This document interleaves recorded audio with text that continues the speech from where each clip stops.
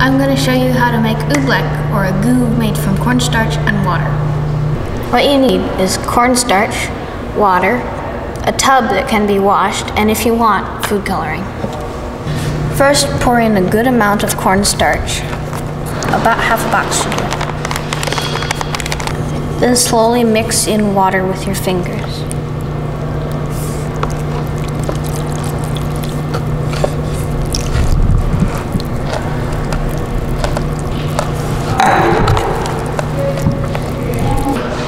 Mix the cornstarch and water until it feels like something between a liquid and a solid and it looks like this.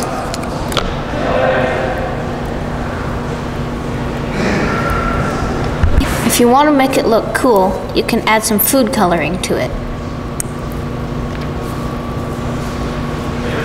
And then mix it around.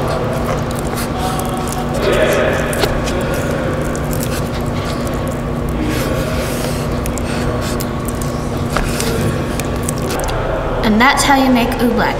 Now remember, this stuff is very messy, so make sure you do it in a place that can get really messy. And don't pour it down the drain because when the cornstarch settles, it will clog the drain.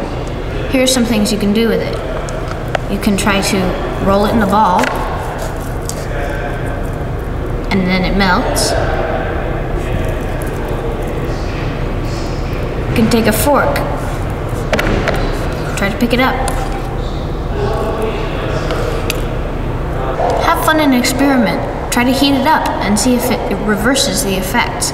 Put a toy in it and try to get, get it out. It's extremely hard. So go make some oobleck and have fun with your goo.